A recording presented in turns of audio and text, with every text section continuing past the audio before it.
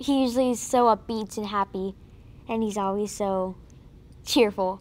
But today he just looked sad. He wasn't talking to anyone. He's just standing there, following the crowd, and I knew there was something up, and I kept on asking him, "What's wrong? What's wrong?" He never answered. So I pulled him aside and said, "You know what? I know you. I've known you for a while now, a long while. What's wrong?" He said, "My grandpa passed away."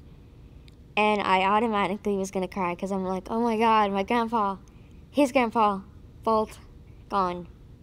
And I knew that I can comfort him and I know how it felt. So.